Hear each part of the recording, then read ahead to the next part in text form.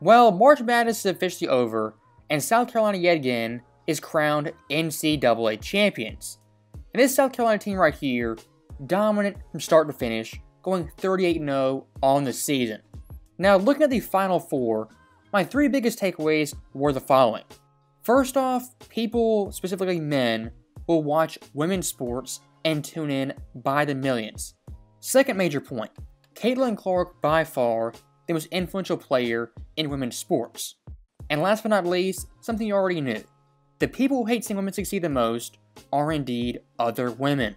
You know, they, you look superhuman playing against 18 year olds, but you're going to come with some grown women that have been playing professional basketball for a long time.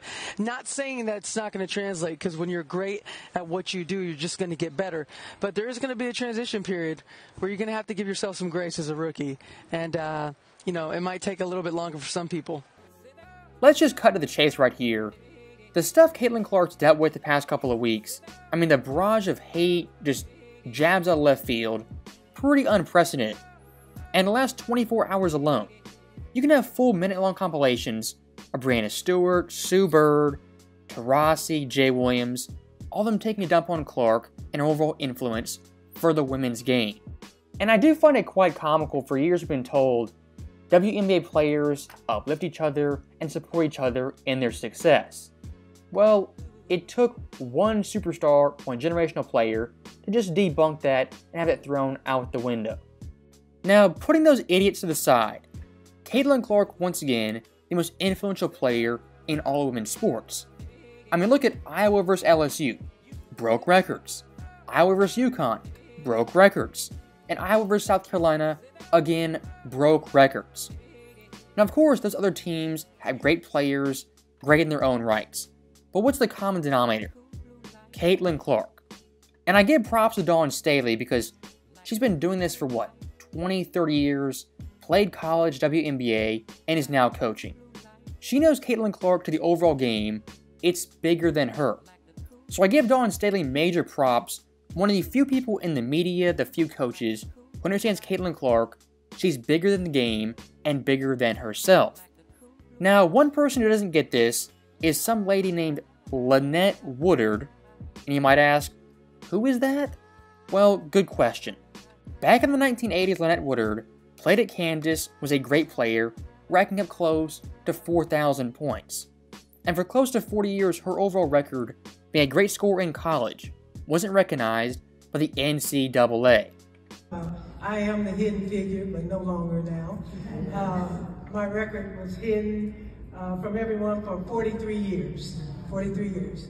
Uh, I don't think, uh, I'll just go ahead and get the elephant out of the room. Uh, I don't think my record has been broken because you can't duplicate what you're not duplicating. And so unless you come with a men's basketball and a two-point shot, hey.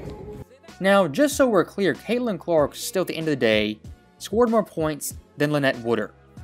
I don't care about the ball size, the league, or the three-point line. End of the day, Caitlin Clark scored more points. End of story. And to have these comments the day before the championship game versus South Carolina, I mean, just hating to the nth degree. As earlier this year, this same lady was brought to Iowa by their coach, acknowledged by Caitlin Clark when she broke the record. I mean, this lady who played 40 years ago, nobody ever heard of, was brought in by Iowa and celebrated. This right here from Lynette Woodard a generational backstab yet again proves women in women's sports will sabotage their own game if it gives them a little bit of spotlight and credit. And let's be clear, Caitlin Clark in the second half of South Carolina did not play good, and on the game went 10 of 28. You want to criticize her game for performance? Go ahead and do so, knock yourself out. But the strays she's catching from former players, current players, I mean, it goes beyond the game and her play on the court. And for the WNBA, what you have right now is a billion dollar lottery ticket in Caitlin Clark. And you can do one of two things either cash that ticket in or burn it out of personal pride. And like we saw early in the video, Diana Taurasi, one of Clark's biggest critics, think her rookie season will be a big time wake up call playing against pros and not 18 year olds. And of course, for a rookie, there's always a learning curve, doesn't matter how great you are. But one thing Taurasi's overlooking is your teammates in Indiana much improved from your teammates at Iowa. I mean, this championship game, Iowa's tallest player was 6 foot 2. In the WNBA, not going to be the case, not even close to it. And unlike at Iowa, I don't see Clark in the pros carrying the offense 24 7, handling the ball every time on the court like a female Luka Doncic. I don't see that. Comparing Iowa's college players versus the Indiana Fever, much more talent, size, overall ability, and skill. And looking at Clark's overall impact in college and eventually in the pros. In college, playing for Iowa, playing for South Carolina, LSU, established teams. I mean, getting people to tune in for that, much, much easier than someone sitting down, watching a Minnesota Lynx game or an LA Sparks game. I mean, be real, those teams don't have a nationwide fan base, even a fan base in their state. Teams like UConn USC on their own are pulling 7 million viewers in the Final Four. It is kind of unfortunate, but women's pro basketball isn't as relevant as the college game. And for Clark in the pros, no doubt she'll pull ratings, get viewers, and people tuning in to watch her. But for a league wide phenomenon, don't think they're there yet for the average fan. And one more point I do want to make when it comes to all time great players facing pushback, criticism before they enter the league, guys like Jordan, Bird, LeBron all face this in their careers. So, that right there is some great context for Clark, LeBron, Jordan, guys of that caliber.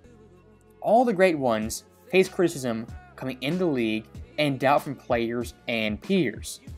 And once again, looking back at the old guard, the old women's players, I mean, either get on board or get off. Be like Dawn Staley or Diana Taurasi. So that right there is the end of the video. As always, thank you guys for watching. Hope you enjoyed it. I'll see you next time.